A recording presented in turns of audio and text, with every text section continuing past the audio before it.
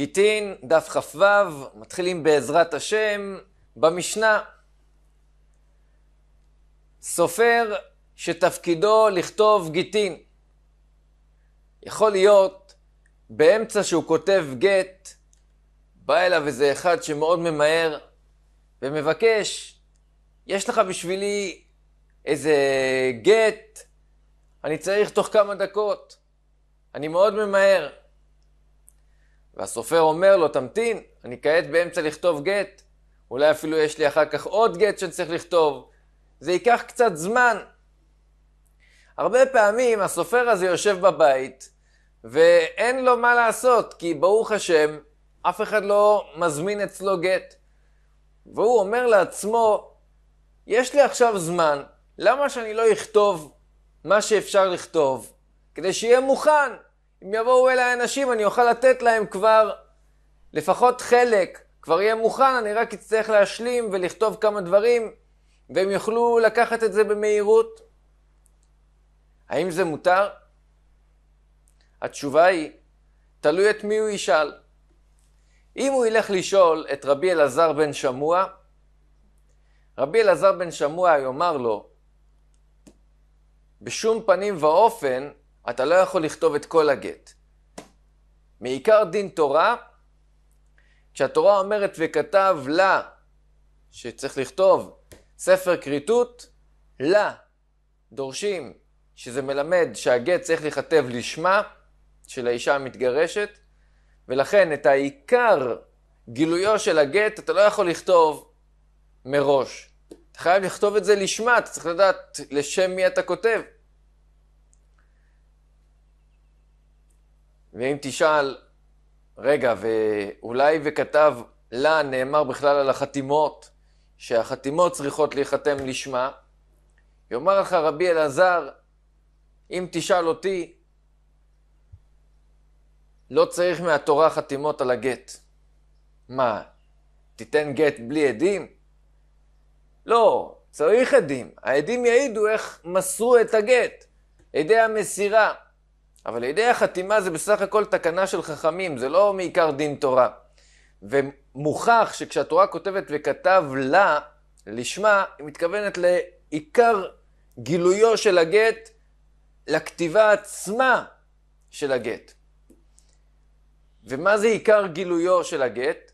יש בגט שני חלקים, יש את הטופס, שזה הנוסח הקבוע, שהוא גם לא עיקר גילויו של הגט, זה הנוסח שכותבים, ויש את הטורף, שזה עיקר גילויו של הגט, שזה שמם, מקומם, הזמן, ושמואל מוסיף גם, הרי את מותרת לכל אדם. הדברים האלה חייבים לכתוב אותם לשמה. לכן, לפי רבי אלעזר, היינו צריכים מדרבנן לאסור אפילו לכתוב את הטופס, כדי שלא יבוא לכתוב את הטורף. זה מה שרבי אלעזר היה אמור לענות. בכל זאת, מפני התקנה, הגמרא תביא שני הסברים לפי רבי אלעזר על איזה תקנה מדובר, התירו לכתוב את הטופס מראש, אפילו שלא לשמה, הוא לא יודע אפילו בשביל מי הוא כותב את זה. הכותב תופסי גיטין, את הטופס הוא יכול לכתוב, אבל את הטורף לא. את זה הוא צריך שיניח. את מקום כתיבת שם האיש, ומקום כתיבת שם האישה, ומקום הזמן שהיה הגט. זה לעניין גיטין. מה לעניין שטרות אחרים? יש למשל שטר שהלווה כותב למלווה שנותן לו כסף בהלוואה. האם אפשר להכין את זה מראש? כשהוא מכין שטרי מלווה, לפי דעת התנא הראשון, ושמואל מעמיד את דברי התנא הראשון כאן של המשנה, שזה בעצם רבי אלעזר, רבי אלעזר בן שמוע, הוא סובר שגם בשטרי מלווה אפשר לכתוב את הטופס אבל צריך שיניח, ישאיר פנוי מקום שם המלווה ומקום שם הלווה, מקום סכום המעות, מקום הזמן. וכן כשהוא מכין שטרי מכירה, שטרי מיקח, מוכר שדה או מוכר איזה קרקע. צריך שהסופר, כשהוא מכין את השטרות מראש, יניח מקום שם הלוקח, הקונה, מקום שם המוכר, ומקום סכום המעות, כמה הם בעצם סיכמו תשלום על, ה... על הקרקע, ומקום השדה ומקום הזמן. כל זה מפני התקנה. הגמרא תסביר שני הסברים, אם אנחנו מעמידים שהתנא הראשון קם במשנה, זה רבי אלעזר בן שמוע, על איזה תקנה מדובר. יש הסבר נוסף, ואולי נפתח בצורה אחרת. אם הסופר יבוא לשאול את רבי מאיר בעל הנס, תגיד, כבוד הרב, האם אני יכול בזמן, בזמן הפנוי שיש לי להכין איזה חלק מסוים בשטר של הגט כדי שיהיה מוכן לעת מצוא, לפעמים בזמנים של לחץ, יהיה כבר לפחות חלק מוכן. מה יאמר לו רבי מאיר בעל הנס? לפי דעתי, אתה יכול לכתוב את כל הגט. עיקר ה... מה שהתורה כותבת וכתב לה שצריך שיהיה לשמה, זה החתימות של העדים. שאר הגט, מעיקר דין תורה אתה יכול לכתוב, להכין את הכל מראש. אפילו את התורף, מעיקר דין תורה גם את התורף אתה יכול לכתוב מראש, לפי רבי מאיר. רק מה, את החתימות כמובן, זה חייבים לחתום לשמה. כי עדי חתימה הם עיקר הכריתות, הם קרתי, לפי רבי מאיר. ובכל זאת, מפני התקנה, וגם כאן, גם לפי רבי מאיר, יש שני הסברים אחרים לבאר על איזה תקנה מדובר. אז הכותב תופסי גיטין, שלא יכתוב גם את השמות וגם את עיקר גילויו של, ה... של השטר. צריך שיניח לפי דעת רבי מאיר בעיקרון גם את זה היו מעיקר דין תורה יכולים לכתוב. רק מדרבנן, מפני התקנה צריך שישאיר ריק את מקום כתיבת שם האיש, ומקום כתיבת שם האישה, ומקום הזמן שיהיה בו הגירושין. זה מדובר על שטרות של גט. וכן, כשהוא מכין שטרי מלווה, שהלווה כותב למלווה שנותן לו כסף, צריך שיניח מקום שם המלווה, מקום שם הלווה, מקום סכום המעות ומקום הזמן. אותו דבר כשהוא מכין שטרי מקח, שטרי מכירה, צריך שיניח מקום הקונה, מקום שם הלוקח, ומקום שם המוכר, מקום סכום המעות, מקום שם או תיאור השדה ומקום הזמן, מפני התקנה. אם כן, החלק הראשון של המשנה, שזה התנא הראשון של המשנה, יש דעות שסוברים שזה רבי אלעזר בן שמוע, ולפי הדעות האלה ביארנו בהסבר הראשון את המשנה, שהתקנה היא עצם זה שהתירו לכתוב את הטופס, ולא חושבים שמא יבוא לכתוב גם את התורף, ויש שני סיבות, שתי טעמים, מה פירוש מפני התקנה לפי רבי אלעזר בן שמוע. לפי ההסבר השני, שהחלק הראשון של המשנה זה לפי דעת רבי מאיר, אז מפני התקנה זה בדיוק הפוך. אנחנו היינו אומרים שיכתוב אפילו את התורף מראש. מבחינת תקנה תקנו שאת התורף לא יכתוב מראש, אלא ישאיר פנוי את הפרטים האלה, וימלא אותם רק מתי שיבואו אליו בפועל לכתוב את הגט. דעה שנייה, רבי יהודה, הוא פוסל טפסי שטרות שהכינו מראש, אפילו אם הניח את המקומות האלה ריקים. באיזה שטרות מדובר? בכולם. גט, הלוואה ומכירה. רבי אלעזר מחלק. רגע, מה רבי אלעזר? איזה רבי אלעזר זה? רבי אלעזר בן שמוע? הרי אמרנו ששמואל ועוד, רבי יונתן, סוברים שהתנא הראשון במשנה זה רבי אלעזר בן שמוע, אז איך הגיע פה עוד פעם רבי אלעזר, והוא מביא עוד דעה אחרת? זה גמרא מעמידה לפי זה שיש שני תלמידים שכל אחד מהם הייתה לו דעה אחרת מה הייתה דעת רבו רבי אלעזר. תרי תנאי ואליבא דרבי אלעזר. בכל אופן, לפי התנא השני בדברי רבי אלעזר, הוא מחלק. הוא מכשיר בשאר שטרות. בכולן, בשטרות האחרות, שטר הלוואה, שטר מכירה, אתה יכול לכתוב את הטופס ולהשאיר מקומות ריקים את התורף. חוץ מגיטי נשים. שגם אם הוא כתב רק את הטופס פסול, שמא יכתוב גם את התורף. כתיבת תורף שלא לשמה פסולה מהתורה, שנאמר וכתב לה, שזה צריך להיות לשמה. שמואל סובר שהדעה של התנא הראשון זה דעת רבי אלעזר. ולפי זה הוא מעמיד ואומר, אמר רבי יהודה אמר בשם שמואל, מה שאמרנו בתחילת המשנה, מה שצריך לשייר כשכותב הסופר תופסי גיטין, צריך להוסיף ולשייר, שיניח אף את מקום כתיבת המילים הרי את מותרת לכל אדם, שזה חלק מהתורף של השטר. ומוסיף שמואל ואומר, התנא הראשון במשנה שלנו זה רבי אלעזר היא. דאמר שהחתימות שהעדים חותמים על הגט זה לא מהתורה. מהתורה לא צריכים לחתום על הגט, זה רק תקנה של חכמים. ומה שהתורה אומרת וכתב לה, זה נאמר על הכתיבה של התורף של השטר. ומי הם העדים שמעידים על הגט? עדי המסירה. הם כורתים את עיקר הגט. ולכן, את התורף בעינן שהכתיבה תהיה לשמה. כי מה שכתוב וכתב לה, שדורשים לשמה, מדבר על כתיבת הגט. ועיקר הגט זה שם האיש, האישה, הזמן, הרי את מותרת לכל אדם, שכל אלה צריכים להיכתב לשמה. זה לא פעם ראשונה, מי שבאמת עוקב, ששמואל מעמיד משנה שהיא כמו דעת רבי אלעזר. אלא זה כבר פעם שלישית. פעם ראשונה היה המשנה שמדברת על אחד שכותב גט על מחובר לקרקע, למשל על עלה, עלה גדול, הוא בא לכתוב על זה גט. שם המשנה מצד אחד אומרת, אין כותבים במחובר, ואז כתוב שאם כתבו במחובר וכולי, כשר, ושמואל העמיד שם את המשנה כמו דעת רבי אלעזר.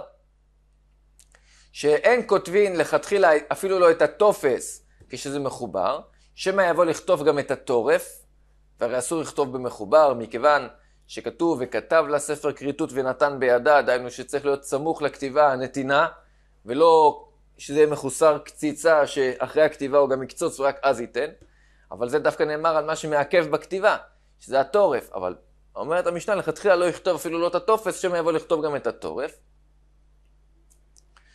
ושמואל מעמיד שם את המשנה כמו דעת רבי אלעזר.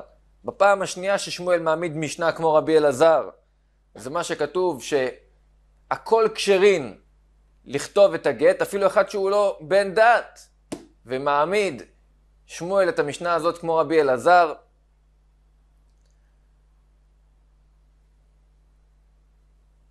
ועכשיו, פעם שלישית, זה המשנה שלנו.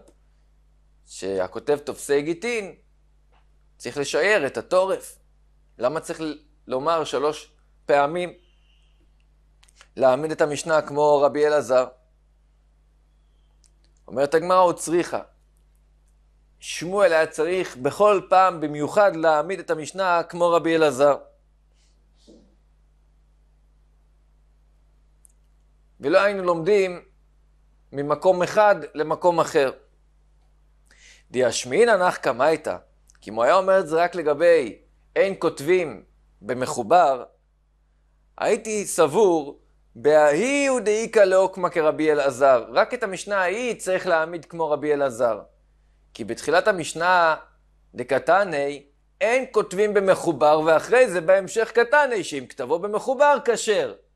מכיוון שיש כאן דברים שהם נראים סותרים, שמואל היה מוכרח להעמיד את המשנה כמו רבי אלעזר ולבאר שלכתחילה לא כותבים את הטופס במחובר, שמא יכתוב גם את התורף, ובדיעבד אם הוא כתב רק את הטופס במחובר כשר. אבל סיפא, המשנה של הכל כותבים את הגט, אפילו אלה שהם אינם בן, בני דת, דקתני, אין קיום הגט אלא בחותמיו. או-אה. זאת אומרת שעיקר פה זה החתימות של העדים. זה קצת מגלה שהמשנה היא כמו דעת רבי מאיר, שעדי החתימה הם אלה שכורתים. אולי פה שמואל יודע שהמשנה היא כמו רבי מאיר. אימה כרבי מאיר הידא אמר ידי חתימה קרתי. לכן, שמואל צריך לה, להשמיע לנו שגם המשנה הזאת היא כמו רבי אלעזר. ומה שנאמר שאפילו אדם שאין בו דת יכול לכתוב את הגט, הכל כשרים לכתוב את הגט, זה בתנאי שהוא כותב רק את הטופס, אבל הוא משייר את התורף. ככה מעמיד שמואל. וישמיעינן בהאי, אם היינו משמיעים, אם שמואל היה משמיע במשנה הזאת שהכל כשרים לכתוב את הגט, שהמשנה היא כמו דת רבי אלעזר, היינו סבורים, ההיא נמי איכא לעוקמה, גם את המשנה ההיא אפשר להעמיד כרבי אלעזר, ולומר שהוא כותב רק את הטופס. אבל את המשנה שלנו, ה, אימה, הייתי אומר, איך אתה מעמיד את תחילת המשנה כמו רבי אלעזר? מדסייפא רבי אלעזר הווי, כיוון שבחלק הש... האחרון במשנה, רבי אלעזר אומר את דעתו בצורה מפורשת, שבגיטי נשים אסור לכתוב אפילו לא את הטופס, ורק בשאר שטרות אפשר לכתוב את הטופס. הייתי אומר, כנראה רישא לאו רבי אלעזר, שהטענה הראשון זה כנראה לא רבי אלעזר. צריכה, לכן שמואל היה צריך לחדש, שגם המשנה שלנו, הטענה הראשון זה רבי אלעזר. וכמו שהגמרא מביאה בהמשך, שיש ויכוח בין תנאים מה דעתו של רבי אלעזר. התנא הראשון סובר שדעתו של רבי אלעזר, שאפשר לכתוב את כל השטרות רק את הטופס ולא את התורף, והדעה השנייה בדעת רבי אלעזר, שזה נאמר דווקא בשאר שטרות, אבל בגיטי נשים אסור לכתוב אפילו לא את הטופס. התנא הראשון, שאנחנו מעמיד, מעמידים אותו בינתיים, שזה רבי אלעזר בן שמוע, וכמו שכבר אמרנו במשנה עצמה, שבהמשך מעמידים את זה גם כמו רבי מאיר, יש דעה שמעמידה את זה כמו דעת רבי מאיר, חזקיה. הוא מעמיד את הדעה הראשונה במשנה כדעת רבי מאיר. אבל בכל אופן צריך לברר, כשהתנא כאן אומר שמותר לכתוב את הטופס ואסור לכתוב את התורף, מפני התקנה. מהי תקנה? על איזה תקנה מדובר? אז כמו שכבר אמרנו במשנה, ונאמר את זה עכשיו שוב, בעצם יש כאן ארבעה הסברים. שני הסברים מה פירוש מפני התקנה לפי דעת רבי אלעזר, ושני הסברים מה פירוש מפני התקנה בהמשך כשנביא את דעת רבי מאיר, לפי דעת רבי מאיר, וכבר נאמר שאלה שמסבירים שמפני התקנה זה לפי דעת רבי אלעזר, בכל מקרה ההסבר יהיה שלפי רבי אלעזר היה אמור להיות שאפילו את הטופס יהיה אסור להכין, כי הרי וכתב לה נאמר על התורף, שחייב להיות לשמה, ואם יכתבו את הטופס מראש, אולי יבואו גם לכתוב את התורף. הסיבה שהכשירו לכתוב את הטופס, הסיבה שהתירו לכתוב את הטופס זה מפני התקנה. לעומת זאת, אם אנחנו מעמידים את התנא הראשון במשנה, שהוא כמו רבי מאיר, אז. מפני התקנה זה הפוך. כי לפי רבי מאיר היה אמור להיות מותר לכתוב אפילו את התורף, כי הרי העיקר כאן זה החתימות. והתורף היה אמור להיות כתוב, היה אמור להיות מותר לכתוב אותו אפילו מראש. כאילו הוא לא צריך להיות כתוב מעיקר דין תורה לשמה. והתקנה היא למה אסרו לכתוב את התורף. זה מפני התקנה לפי רבי מאיר. ועל זה גם יש שני הסברים. אבל קודם כל נפתח בהסבר הראשון, איך שהם מבארים מה מפני התקנה לפי דעת, איך שמעמידים שהתנא הראשון זה דעתו של רבי אלעזר. אמר רבי יונתן, הטעם שהתירו לכתוב את התופסי גיטין שלא לשמה, ולא חוששים שמא אם נתיר לכתוב את הטופס יבואו גם לכתוב את התורף, מפני תקנת סופר. וכמו שאמרנו, כמו שהעמיד שמואל, התנא של המשנה שלנו זה רבי אלעזר היא. דאמר עדי מסירה קרתי, ולכן אי אפשר לומר ש"וכתב לה" נאמר על החתימה של העדים, כי החתימה של העדים זה רק תקנה דה רבנן, וכשהתורה כותבת "וכתב לה", היא מתכוונת לכתיבה עצמה שצריכה להיות לשמה. ובדין הוא, כיוון שכתיבת הגט, התורף צריך להיות לשמה, מעיקר הדין צריך להיות מדרבנן, דאפילו טופס נמי לא נכתוב מדרבנן, שמא יבוא לכתוב את התורף.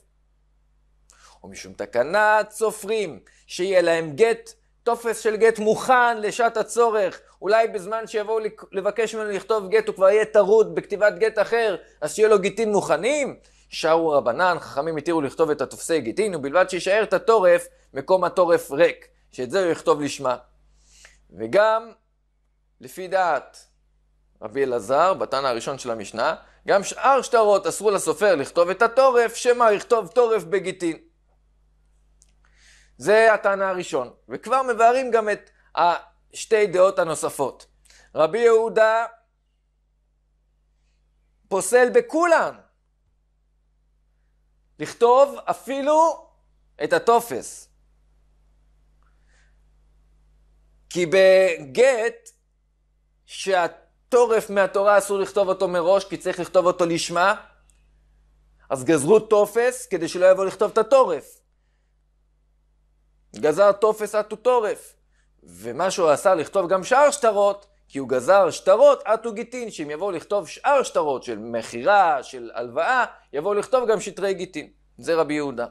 ורבי אלעזר, דהיינו התנא השני בדעת רבי אלעזר, הוא מכשיר בכולן, הכוונה בשטרי הלוואה ושטרי מכירה, לכתוב את הטופס מראש, חוץ מגיטי נשים, ששם הוא אוסר אפילו לכתוב את הטופס מראש. למה? טופס אטו תורף גזר. שמא יבוא לכתוב את הטורף, בגט הוא אוסר לכתוב אפילו את הטופס. אבל לאסור לכתוב את הטופס בשאר שטרות אטו גיטין, שלא יבוא לכתוב בגיטין, זה לא גזר, כי זה גזרה לגזרה. ורבי אלעזר, שהוא מכשיר בכולם, חוץ מגיטי נשים, אז זה שגיטי נשים הוא אוסר לכתוב אפילו את הטופס, הוא כותב משום שנאמר וכתב לה לשמה. שואלת הגמרא, והכי כתיב לה, התורף הוא דכתיב. כי הרי לפי רבי אלעזר, רק את התורף אסור מהתורה לכתוב מראש שלא לשמה. זה שהוא אוסר לכתוב את הטופס שלא לשמה, דהיינו מראש, זה רק מגזירת חכמים שמא יבוא לכתוב גם את התורף מראש. ומזה שכתוב שנאמר, משמע שהמקור זה מהפסוק. אלא אומרת הגמרא, אימה, משום שנאמר וכתב לה לשמה. משום שנאמר וכתב לה לשמה על התורף, לכן גוזרים שגם את הטופס לא יכתוב, כדי שלא יבוא לכתוב גם את התורף. זאת אומרת, משום שנאמר לעניין התורף וכתב לה, לכן גוזרים גם הטופס שלא יכתוב, כדי שלא יבוא לכתוב את התורף. ולפי שמואל ורבי יונתן שמעמידים שהתנא הראשון זה רבי אלעזר, לא קשיא דרבי אלעזר עד דרבי אלעזר, מזה שאנחנו רואים שבסוף המשנה יש שוב פעם דעה של רבי אלעזר. כי בעצם יש תרי תנאי ואליבא דרבי אלעזר. שני תנאים נחלקו מה דעתו של רבי אלעזר.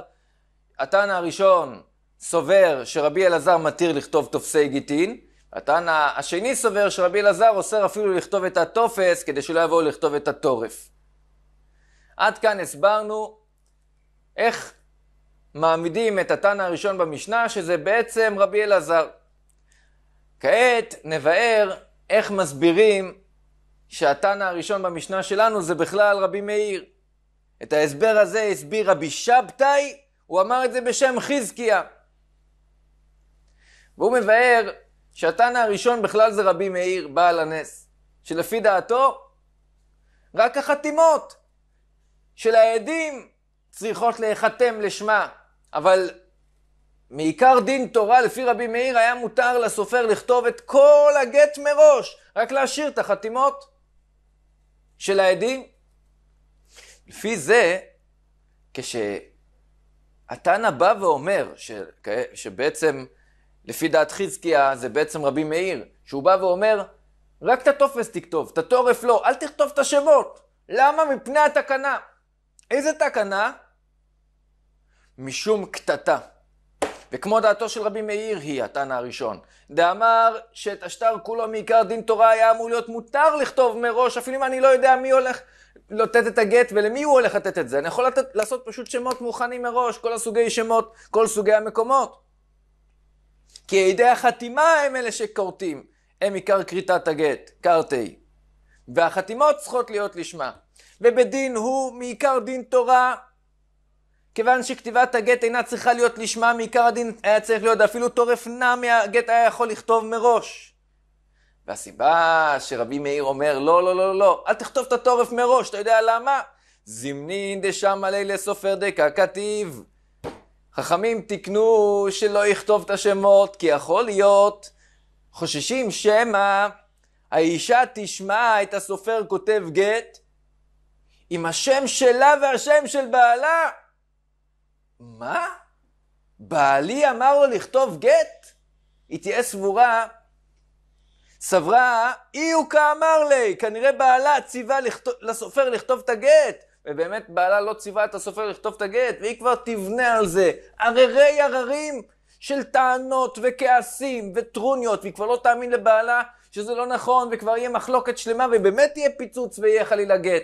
בשביל זה, זה נקרא מפני התקנה, כדי שלא יהיה קטטה ביניהם, ועוול לקטטה בעדי, כדי שלא יגרום קטטה, לכן מפני התקנה תקנו שלא יכתוב הסופר שמות בזמן שהוא מכין טפסים מראש.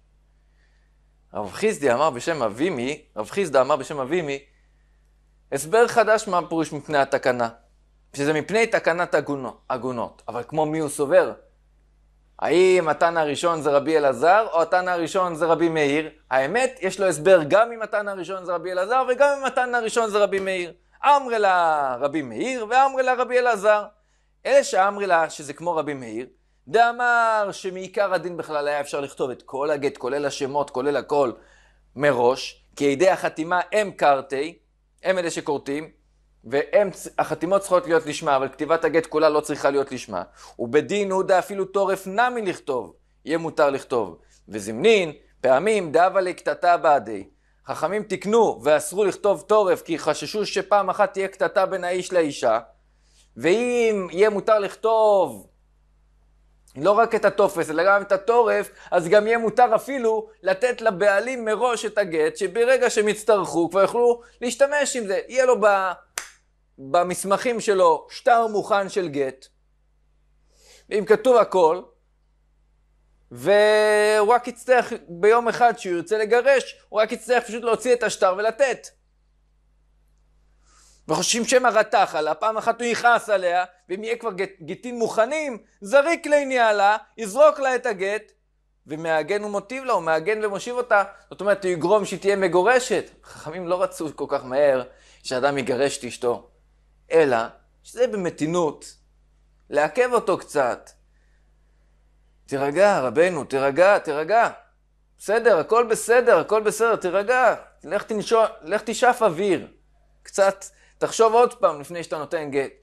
ומקווים שבעזרת השם, אחרי שיחשוב פעם נוספת, הוא יחזור בו ולא ייתן את הגט. לכן תקנו שאדם, שהסופר לא יכתוב מראש את התורף. בעצם יש לנו כבר הסבר שני, לפי דעת רבי מאיר, מה זה מפני התקנה?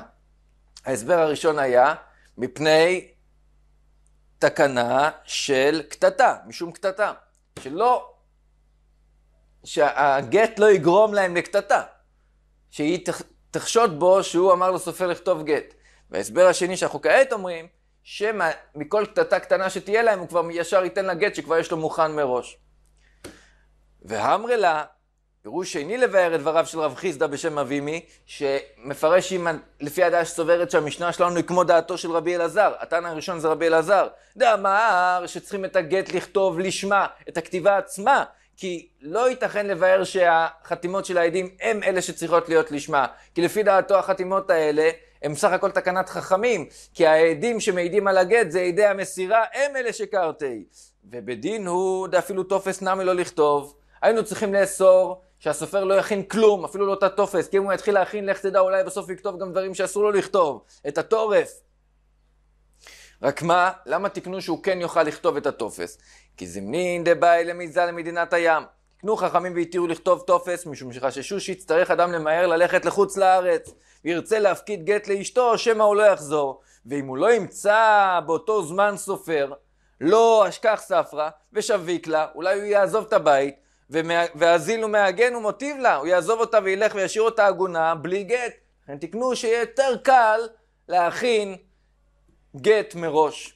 שבאמת הבעל יוכל לתת בקלות גט לאשתו לפני שהוא יוצא למקום רחוק, שייתכן שמשם הוא לא יחזור. בין הדברים שמאוד מאוד מעכבים בגט, שנכללים בכלל התורף, זה מקום הזמן, מקום כתיבת הזמן שניתן הגט. אסור בשום פנים ואופן שהזמן שכתוב בגט יהיה מוקדם יותר מהמציאות מתי שהגט הזה חל. מאוד מדויק שהתנא כפסיק ותעני. הוא לא חילק, הוא כתב את זה כדבר פסוק. בכל מקרה כשנותנים גט, אחד מהדברים המשמעותיים שהם חלק מהתורף זה מקום הזמן. כשאדם מתחתן עם אישה, יש שני שלבים. אירוסין, שנקרא גם קידושין, זה השלב הראשון. השלב השני זה נישואין. בזמננו עושים אותה, את שני השלבים זה אחר זה. בזמן החופה יש גם קידושין. נותן טבעת קידושין, ומיד באותו ערב כבר האישה הולכת לגור בבית בעלה. אבל בזמן המשנה, בזמן התלמוד, זה נעשה בשני שלבים נפרדים. קודם כל היה קידושין, אירוסין, שהיה נותן לה, נאמר, טבעת קידושין, והיא נשארת בבית אביה, היא רק מאורסת עכשיו.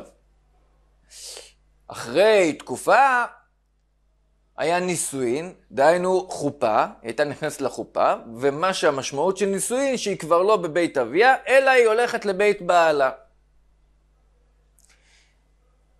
כשאדם מגרש אישה, כשהוא מגרש אותה מהנישואין, אחרי שהם היו נשואים, ודאי שחייבים לכתוב זמן, וזה משנה שהזמן יהיה מדויק. אבל, אם הוא מגרש אותה רק מהקידושין, הם רק היו מאורסים, דהיינו הוא נתן לה קידושין, הוא רק קידש אותה, אז זה לא כל כך ברור שמשמעותי כל כך הזמן, מתי ניתן הגט. כי ביש למה, כשהוא מגרש אותה מן הנישואין, אחרי שהם היו נשואים, מובן למה כולם מודים שחייבים לכתוב זמן. בין לפי דעת רבי יוחנן, מאן דאמר, שסובר לאל בדף י"ז, שתקנו לכתוב זמן בגט, הטעם הוא משום בת אחותו. חוששים שמא אדם למשל שנשוי לבת אחותו, שמטבע הדברים, מכיוון שהם קרובים גם בלי קשר לזה שהם נשואים, יש חביבות מיוחדת, וחוששים שמא הוא יחפה עליה. ואם יבואו עדים שהיא זינתה, הוא ידאג שיהיה לה גט מוכן, והיא תוכל לטעון שבאותו זמן היא כבר הייתה מגורשת, היא לא הייתה אשת איש שזינתה, והיא לא תהיה חייבת מיתת בית דין של חנק. הוא יכין לה מראש, יהיה לה גט בלי זמן, בלי תאריך. לכן תקנו זמן בגיטין. ולכן תקנו גם שהזמן חייב להיות מדויק, שלא ייתן לה גט שכתוב על זה זמן יותר מוקדם. ואז תוכל לטעון שכבר קיבלה גט עוד לפני ש...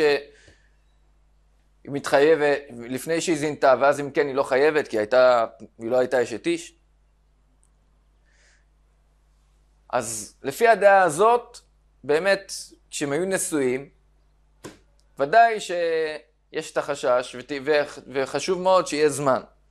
ואפילו בן למאן דאמר, דהיינו בן לפי דעת ריש לקיש, שלפי דעתו הסיבה שתקנו לכתוב זמן בגט זה משום פיירי, משום הפירות שהבעל אוכל בנכסים של אשתו.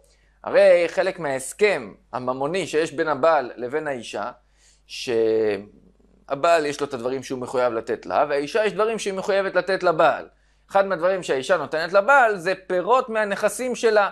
אם יש לה נכסים, שהיא הכניסה אותם לנישואין בהגדרה של נכסי מילוג, שלא ניכנס כרגע לגמרי לכל ההגדרות המדויקות, אבל בכל אופן, הנכסים האלה שייכים כמובן לה, אבל הפירות הבעל אוכל.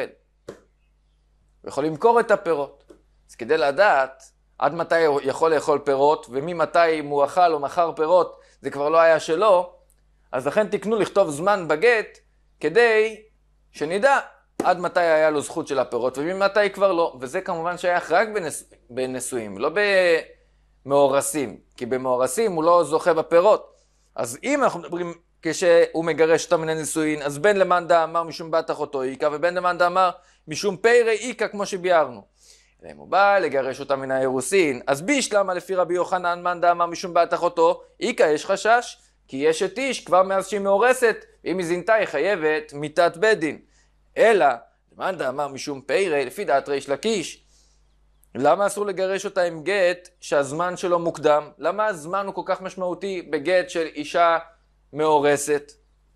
וכי ארוסה מאית לה פרא וכי יש טענה על פירות, הרי בין כך הבעל לא יכול לאכול פירות, עד הנישואין.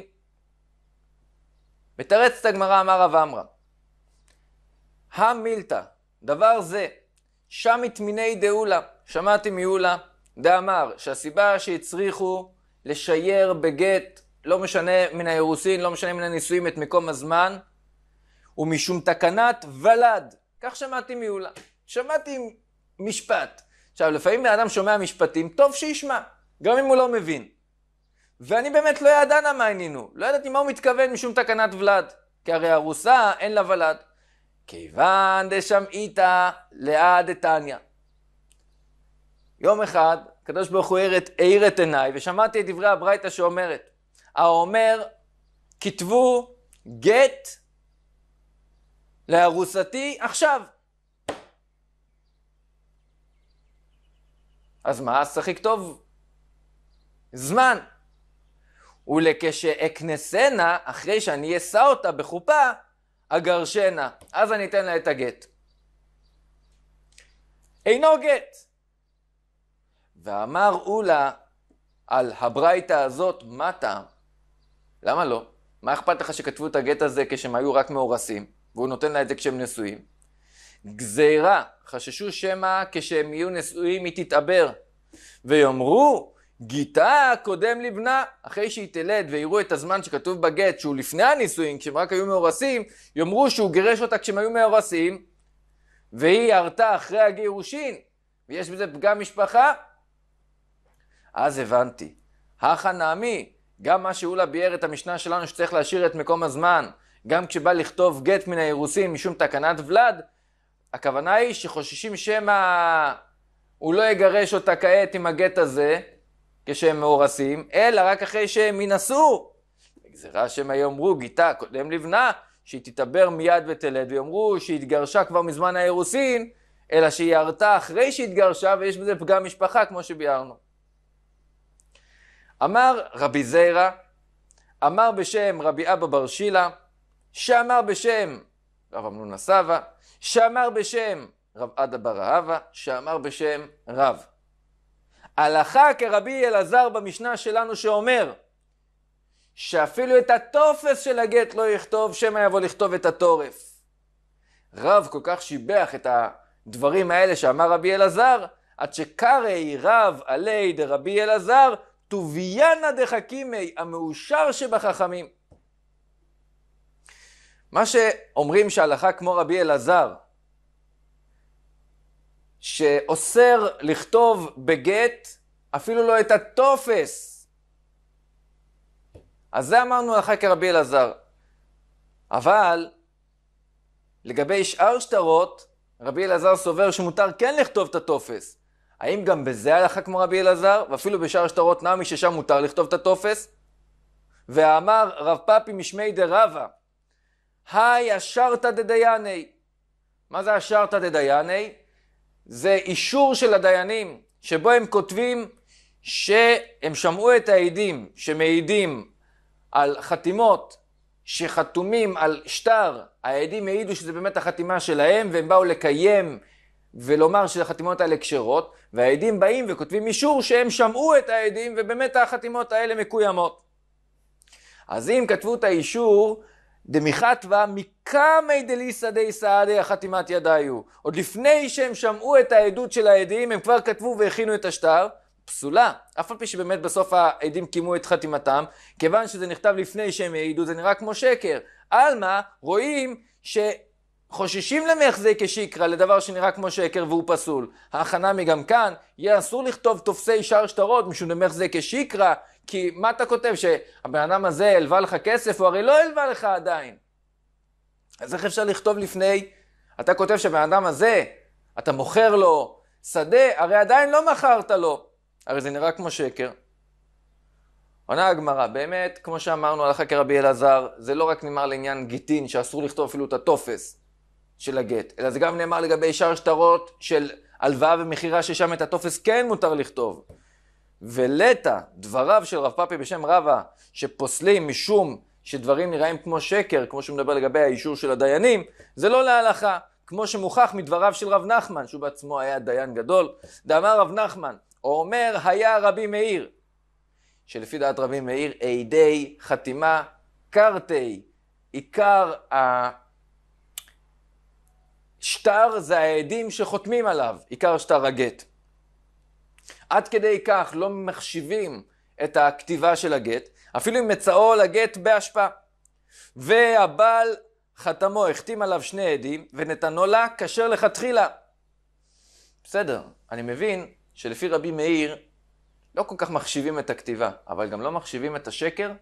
לא אכפת לך שכתוב כאן שקר, בן אדם כתב, אני פלוני בן פלוני, ממקום פלוני, נותן גט לאישה פלונית, והוא, מה זה, זה לא שקר הדבר הזה? מה גט ומה סיפורים? הדבר הזה נכתב עוד לפני שבכלל הם נולדו. מה גט פה? זה לא נראה לך כמו שקר?